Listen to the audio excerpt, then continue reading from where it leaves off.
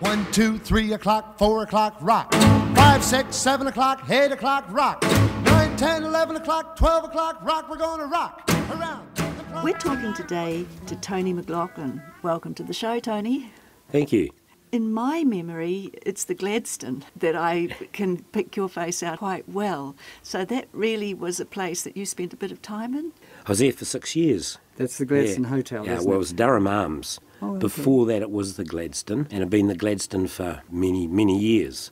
Like everybody else on this program, we're going to put you through the mill. Tell me about your childhood in Christchurch. My childhood. Well, I was born in 1948, and I went to St Peter's School in Beckenham, and at the age of nine, my mother decided that I should start learning piano, and I went to a music teacher by the name of Frida Calvert, who actually turned out to be my Plunket nurse. Isn't that fascinating? You're bringing up the fact that Plunket nurses played a big role in, in life in those early 1950s. Well, it's surprising you say that because only yesterday I was going through some old papers and out falls my Plunket book.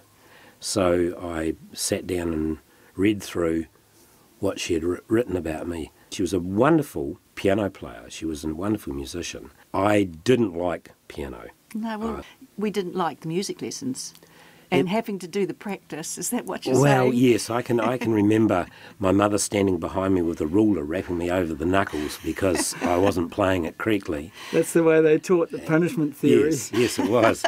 and it, it transpires that my father was a, quite a good piano accordion player, which I didn't know. And he sort of prompted my mother to say, "Look, I think he should go to, you know, music lessons." So I I went there and I, I passed my first lot of exams, and then I thought, no, I don't want to do this anymore. I want to play guitar because it was coming into the early early '60s, and I thought, oh, I'm going to play guitar. So, what was lighting your fire with the music then? I don't know what it was. I just liked music. All the music that I listened to in those days, the, the Shadows had just come in, and I was playing Shadows tunes on the piano, which was crazy, unheard of, you know. So I think to myself, well, Tony, what do you want to do? Uh, I want to really play guitar. So I got a guitar, and I couldn't get my wee fat fingers around the, the neck of it. So I thought, well, there's six strings on a guitar. There's four in a bass. Maybe I can play bass. And I did. I started playing bass and I used to buy all these records. I'd bike uptown to buy the record and I'd come home and I'd modified the home stereo, the Murphy stereo that we had, or radiogram, and I used to be able to plug my bass into that. Because in those days, amplifiers were virtually unheard of. I mean, you just couldn't go and buy an amplifier. You had to get the guy at the local radio shop to make you one. So we, we looked at it and I thought, okay, I can do this. And I started learning bass to all the records that you used to go and buy. And it was in the early 60s, I think it was 64. Where were you buying the records from? Well, in those days it was, I think it was Beggs and High Street. Yes. Because opposite there was Sedley Wells, they were on the corner. And I used to go up to Beggs and they used to have a like a bargain bin there and you could buy a whole lot of You're bringing memories back. I can see my fingers going through the records. Yep. yes, you, yeah. Of course, in those days, uh, it was 45s. You could never afford an album. And I sort of used to get all these 45s and, as I said, take them home and listen to them and try and learn off them. And then as things progressed, I had a friend of mine up the road who worked for the post office. And he said, I can build you an amplifier. So, I've heard this yeah. before. Like, we had a disaster. We had the first transistor amplifier made for us, and it never worked. Cost us a fortune, and it never worked. So I do empathise Yeah, with you with your amplifiers. well, yeah, it's amazing, isn't it? You know, uh, that's probably would gone into 65, 66 by then, been to buy an amplifier what you needed. It was very, very difficult. How did you get started with, with playing? On a Sunday afternoon, because I, my father and mother basically kicked me out of home because I was making too much noise. With the bass? yeah, with the bass, I'd go up to the the local school hall, which was in Fisher Avenue, and I would go up there and practice up there. And I used to practice, and I'd practice, and I'd practice, and I had a piano there too. And I used to take a, a portable record player, one of those little things with the speakers that you could lift out. And then I thought, well, you know, this is this is pretty good. There used to be a youth club there on a Sunday afternoon, and it had fallen over and it wasn't there anymore. So I thought, well, maybe we should have a dance of some description. I wonder what we do. So I sort of made a few inquiries and found that the hall was available on a Sunday night. And my friend down the road who made the amplifier for me, he said, Well, I'd like to be a bit of a DJ. So he would do records in those days. And we built a couple of speaker boxes and you know in those days it was it all had the lyrics the lyrics front because you couldn't buy a speaker grill or speaker cloth and it's amazing you know when you think of the things that you did in those days to get yourself going i mean there were certainly a lot of bands in town that had come to the fore and harking back to that when i went to secondary school the guy that sat next door to me at school was gary thain and gary was playing in a band called the Strangers at the Zodiac Lounge. And I used to go along and watch him in awe. Anyway, he left school and went to England and was playing with Keith Hartley Band, and then he was a bass player for Uriah Heep. And, and we've listened to him. yes, we have. We've listened to yes, him. Yes, um, and his brother, I believe, still he's still about, and Gary, of course, died. And that prompted me to maybe do something about getting into music So you seriously. So what you saw, it was attainable. The stream of yours was attainable because somebody else was doing some of Yes. that sort of thing. Well, yeah, I, I thought, well, if they can do it, I can do it, and that's basically how I've, what I've done with my music um, career. Someone else can do it, I can do it. Where did you first play? What were you playing and, and who with? Well, about 66 or 67, one of the guys that worked at the railways was a guy called Barry Clausen, and I'd heard he was a great singer, which he is, and uh, I thought, I'm going to go say to him, look, I want to form a band, how about you come and sing? And this guy had played in all the good bands around town, and here am I, you know. not, cheeky, was it? Oh, absolutely. That's So- the Irish coming out. yeah, I think it might be. So I said to, I went and saw Barry and I said, look, I'm going to do this and I want, I want you to come and sing it. Or he looked at me and he, you know, a bit strangely, and I kept harping on at him. And what happened? Barry was going away. He was, I think he was going to, to Perth, and he had all his PA equipment for sale, and I went and bought it. ah, synchronicity again. So, um, and that's I was using that basically um, to, to as an amplifier, and his gear had come from Peter Nelson and the Castaways, so it was reasonably good gear. And when Barry came back, I went to him again. I said, "I'm forming this band. I want you to come and play with me." And he, he said to me later on because we pl- we played together for thirty odd years, and he said. That's a long time. It is a long time. And he said, the, one of the reasons is that you were so enthusiastic. And he said, so we gave it a go. And we found a drummer, a guy by the name of John Tomlinson. And there was Barry played guitar, I played bass, and John played drums. And I think our first band was called Johnny T and the Mark Threes or something. It was, you know, Goes with the times. Yes, it does. And we sort of played round and played at the odd country dance and things like that. And we went from that's probably up to about 67, 68. 10 o'clock closing came in, I think, in 67, was it? And decimal currency. They all came in, I think they came in the same year. And about 12 months later, there was an ad in the paper, band wanted for a hotel. And it was at the Cave Rock in Sumner. So we went down there as a band and, and What year would that be? it must be 68. Right. You were, I think, Dion, you In were. the summer, the, We're the, at ca- Marine. at the Marine. Yeah. That'd be right. You must have been our opposition. but I, I, weren't you at, um, down at Heathcote? I did play Valiant. down there at the S- Valiant. on Saturday afternoon? Yes. Yeah, because I used to go down and have a listen. You know? You're bringing the cobwebs out here, mate. well, the, yeah, it, it probably was, because yes, I think you were across in the, at the Marine. It would be just after the, that. I think it's 69. Because we were, we were actually- 69, I think it was, What was happening there? We began running. I took over the managership, and we brought it up with entertainment, and we made it as a uh, entertainment venue by doing a floor show with Cecile, and then we'd have the band, and I'd come on and do And a some talent singing. quest. and Right. talent quest. Yeah. Yes. And I guess at that time the Cave Rock would be feeling the pinch. I So think I brought think it in- was, and yeah. That's how the ad must have come Yeah, up. the This ad, is really the, interesting. The ad, ad come back and we went down on a Friday night. In the meantime, we'd got quite a good lead guitarist. We come along and did the few numbers, and the boss said, "Oh, that's really good." But the boss's daughter, who was quite astute, said, "No, they're good, but you want this newfangled organ thing."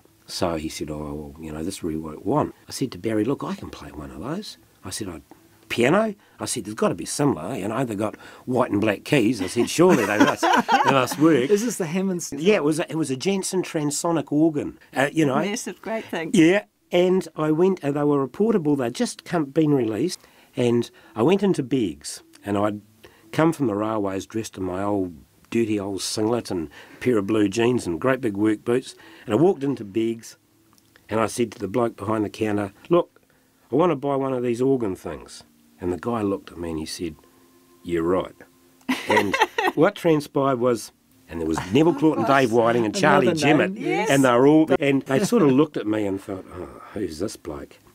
Anyway, they took, they said, uh, "Well, you know, what what can you do?" And um, I said, "Well, I play piano. I, surely it must be like a piano." And they sort of went, "Yeah, right." Anyway, so they got the they got the finance manager out and said, "Well, can you play it?" So I sort of made a few notes, and he said, "Oh yeah." He said, "Now, how are you going to pay for this?" And I said, "Well, I've going to trade my bass in," and I said, "I'll pay half of it in cash, and I'll have to put the other half on credit." Oh, oh, oh, right, eh? And it was seven hundred and twelve dollars Which was quite a lot. which was a lot of money in 69 because I think Barry bought his Mark III Zodiac for about 1500 Yes. so Right, so there we yeah are. so Good that was the comparison. comparison um, so we fronted up I only knew about four chords you know C F and G and D G and A That as took I a think. lot of courage and confidence, didn't it? I can And- empathise with that because I was a singer, and every so often your keyboard player would disappear. And one night, uh, Dion said to me, "You can play the piano. Get up there and play it." Well, that was it. From then on, I was a keyboard player. yeah Yes. yes So you're, it took a lot of confidence for you to do that, as you say, with a limited sort of experience, even on piano and um, well, well, yes. nothing I'm- on the I mean, when I said I knew, I knew um, three chords. Well, I, I possibly knew a lot more, but I mean, It had to come out. well, yeah, because you didn't vamp. You ran No. your hand up the keyboard. Did you feel like I did, which was absolutely petrified? Oh, absolutely. you know, it really was. And you smiled. Oh, yes. so, Well, so okay, so you've got the delivery of it. we got the delivery, went home, we had a couple of practices, and we went back the Friday night, did another demo, and the boss said, "Yep." His name was Bill Hodges. Yep. You, you, you can start start on on next Saturday. He put a wee ad in the paper, just one column by about ten centimetres, and said, "Copper wine." Featuring Barry Clausen, just back from overseas, which he had. He'd just come back from Australia. Well, we got set the gear up on the Saturday afternoon and got down there on the Saturday night, and the pub was Full. Yeah, it was almost full. and you know, I thought, whoops. So Trial we- by fire. Yes, it was. We did the night because I think we finished at ten o'clock, seven thirty till ten, and in those days we got ten dollars each a night. Now that was pretty good money because the guys at the Motor Inn, who were considered the top band, were getting about twelve to thirteen dollars a night, which was w- what I think Bellins paid in those days. And we played down there that Saturday night. The next Saturday night, we got there at quarter past seven. The pub was. Full. The next week it was chocker. So there was a need for that type of music. Well, it was, yeah, there was. Right on the seafront, it opened out. So They got us playing Saturday afternoons, and in those days, they used to wheel the crates of Bavarian stubbies out on a sack bearer. It was amazing because all the surfies used to go down there. It was just a very open experience of what was hectic happening. and wonderful time. Yes, isn't it Really, was. when it happens Yeah. like that, it is great. It, yeah, uh, it And, and was. it buzzes and you think it's going to last forever. Oh yes. Well, Yes. we were down there for I think two years, maybe two and a half, and then Barry was going up to work in Kawerau, I think, up the North Island. So we got in Ian Robinson, and he played with us, and then I played with Barry Saunders. We left the Cave Rock and went to the Esplanade down in Yes, I that'd be quite that a big too. change too, although they're both seaside yes, sort of. little yeah, it was, and places. it was it was actually quite good. And I played down there with um, a couple of other blokes, a bass player, a Kevin Powell, and a, a drummer, Mike Gregory. Still copper wine? Still copper wine in those days, yes, yeah. And then I had a break, didn't do a lot of playing outside. Uh, basically, I, I did the odd private do and things like that. And then about four years later, I decided to get back into it. So I got back into it with a guy called Graham Hurst. And then we run into Pete Sidery, bless his soul, who's dead now. And we caught ourselves It turned out to be Trinidad then, but there was another name. uh, So the couple of names before that, that yeah, you're trying they, out, they- they, they- didn't they quite didn't, sound. didn't quite work, you know. So you think to yourself, "Whoops, we'll go, won't go down this road." Then Pete had had a stroke, so he, he wasn't all that flash, and he said, "Look, I can't do the work that you want us to do." So we went round and saw Barry. Barry had come back from up North Island, and said, "Look, looking for a bass player. You play guitar. You must be able to play bass." And by the way, we're playing at Franz Josef next weekend. so that's what happened. For those of you who've just joined us, we're talking with Tony McLaughlin. Tony is the kind of musician who's kept the music going in Christchurch right from the early 60s through to today. So, Tony, now that you're telling us all about these places, where are we in time? 70, probably 76. And when did you you have a shop? I didn't open the shop till 79. I was still working for the courts. And then in 77, I think, we got offered the job at the Motor Inn. And we played there for two and a half years, I think, as Trinidad. And that was three nights a week, and the pub was chocker. The first night we got there, played Thursday night, it was three quarters full. The Friday night, we got there at about quarter past seven. We couldn't get in because they were queued up down the, the alleyway. What does it make you feel when that happens? Well, I could tell you one word 20 feet tall. Come on, admit it. Well, it, it made you feel pretty good because I mean it's amazing. It- It's you, you walk in and all of a sudden they're, they're all there to see you or see the band. You know, it was a popular place, and people used to go between the Motor Inn and the Bush Inn, which was just down the road. And but there was a huge crowd, and oh, it was amazing. You're actually illustrating with words the kind of life that was going on with the young people at that time. And it's not hugely different from today, except that today it's incredibly visible. Whereas um, the communications weren't texting each other in those days. Yeah. There was an unspoken signal that went round where the good things were Oh, happening. yeah, where where the place to be was, you know, sort of, and that that was that was it. You know, that it just word of mouth. Yes, it was amazing. Hotels that don't exist anymore, and they were huge gathering places. Because in my memory, where Dion and I were playing, they were huge bars. Oh, there were there were they- they four, were. five, six hundred people there, and these now today it's small, intimate Small venues. small small bars. I guess one of the things comes out too when you're talking about it that we've found in our experience anyway as, as entertainer musicians, whatever you like to call us, is that bands have a life. Oh, That you have it for about, if you're really hot, you have about three years if you're lucky, and then it's really time to move on. You've got to pick the moment because if you wait too long, the crowd will leave you. Yeah. But if you leave at the right time, they'll follow you. That's correct. I mean, I jumping right through to the 90s when we played at the, the Durham Arms, we found that things were getting tight. And I said to Barry, let's form a duo. And we formed a duo, and, a couple, and then we were sent to Paul Revere's restaurant. Um, so what happened? We ended up by staying there for two and a half years again. Another journey. Another another story, and we played Friday and Saturday night, and it was great. It was it was wonderful. Barry and I went out to the Bishopdale for a week or so, and we stayed there for two and a half years. So- Where are you today? well, I'm playing with a guy called Ian Mack in the middle of last year, and we call ourselves Max. And uh, we've been out playing bars and, and clubs, and it's turned out to be very, very good. And from that, has your music changed? Absolutely, because what I do now, I sit in front of a computer and have all the music, write all the music, put it in, change or get music downloaded and change change everything that we need to do, and then put it into a laptop. Fascinating. Isn't it? That's The change that signifies the change. well, from from using a drummer to a to a drum machine, and then to change to a basically a keyboard that played discs, and now to a Computer. uh, to a laptop. You can't wing it like you do. No, a you musician. can't because I mean, if if something happened, you could always maybe keep the drum machine going and just play a few more bars or something. Or But- even hum a tune. But everything is unforgiving. Yes. Today, your music is unforgiving. The public are unforgiving because they have, or most of them have great big home stereos and they want to hear the sound that they have at home. They want you to play it at the bar. For those of you who've listened to this program.